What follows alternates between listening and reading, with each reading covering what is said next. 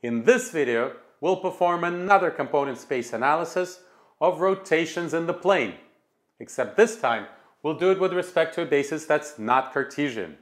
And this is actually one of my favorite kinds of calculations to do. The kind of calculation where you know that everything will work out in the end. You know that all of the key relationships like this one will continue to hold. The only things that are left to find out is the details. Exactly how everything will work out. And because the basis has changed, we know that many of the entries in the matrices will change, maybe change completely. Yet all of the key relationships will continue to hold. So that's what makes this calculation so intriguing. It's like watching a well-written show on TV, except this show was written by a higher authority. So let's get to the task at hand. We're once again dealing with rotations in the plane by the angle alpha and our task is once again to derive the matrix that represents this transformation with respect to this basis.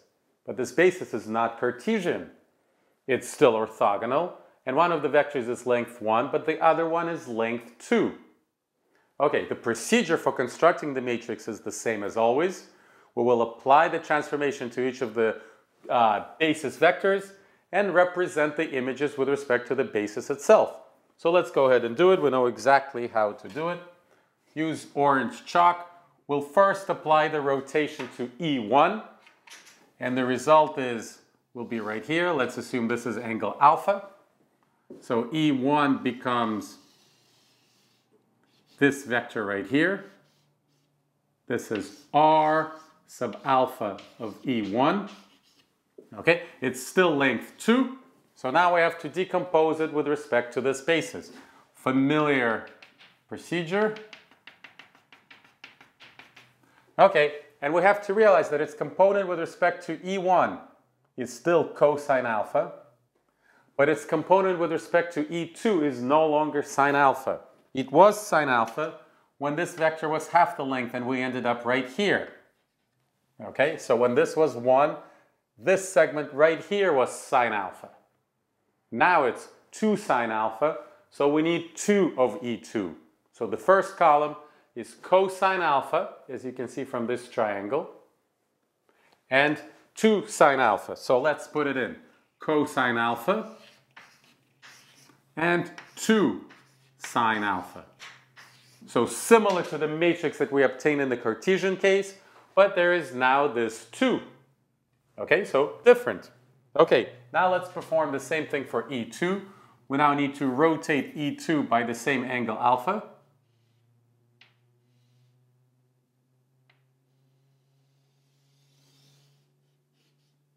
All right, and let's try to figure out its components. So it's R sub 2, excuse me, R sub alpha of E2. Okay, its length is 1. So its components are minus half cosine alpha right?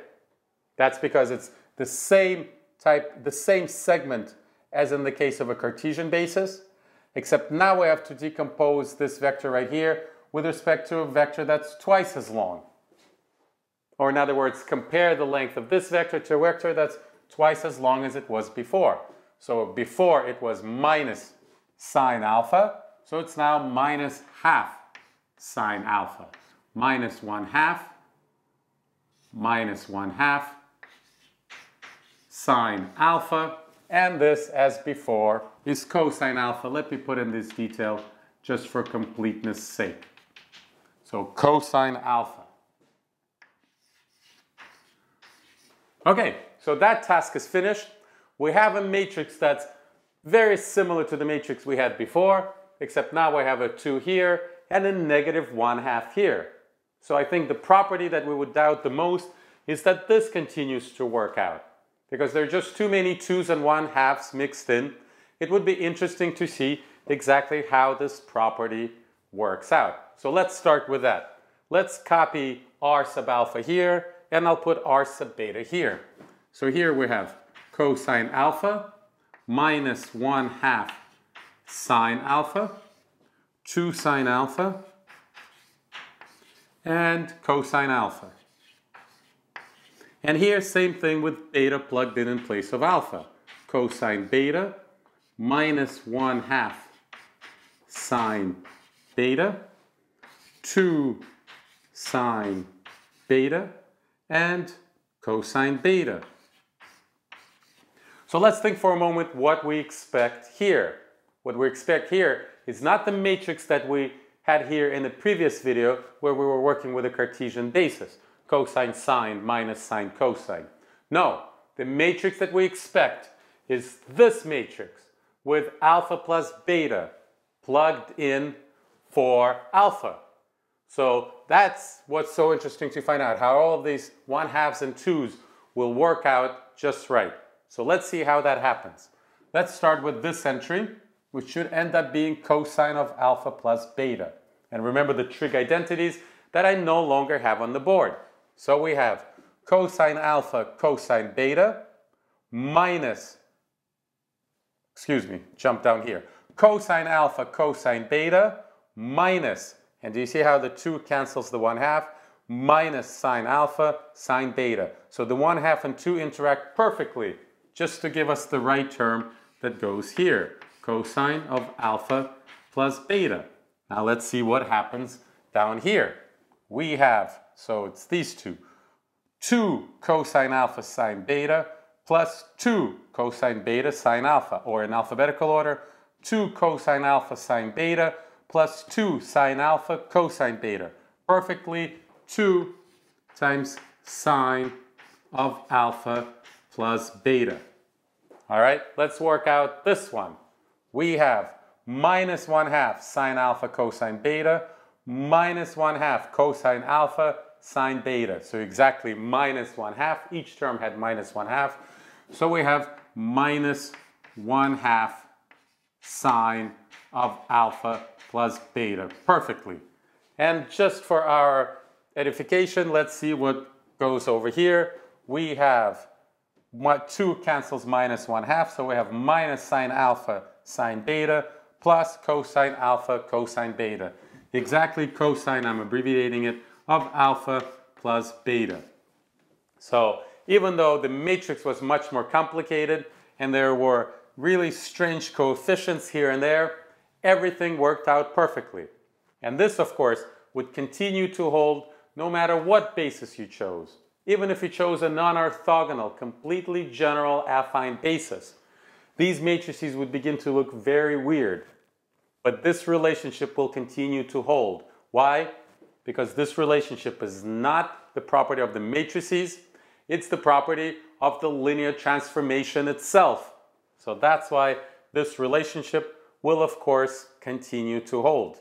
And this once again tells us that these matrices commute. The argument is the same. If we were to multiply them in the opposite order, we would get r of beta plus alpha, which of course the same as r sub alpha plus beta. They commute. And once again, to get the inverse of this matrix, we just have to plug in minus alpha for alpha, which will make the minus sign jump from here to here. Once again, uh, this matrix will have no eigenvalues by the same argument as we used before. Let's calculate its trace and its determinant. So we'll start with the determinant, which of course, as we discussed towards the end of that video, is the property of the, of the linear transformation and not the matrix itself. So we're expecting once again that the determinant is 1, which would be the case always, once again, regardless of the choice of the basis.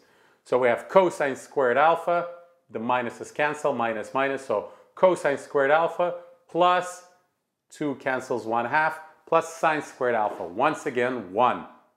And the trace is once again 2 cosine alpha, as before, so the trace is unchanged, the determinant is unchanged, and therefore the eigenvalue characteristics is unchanged. We could repeat the same argument to confirm that this matrix doesn't have any real eigenvalues unless alpha is a multiple of pi.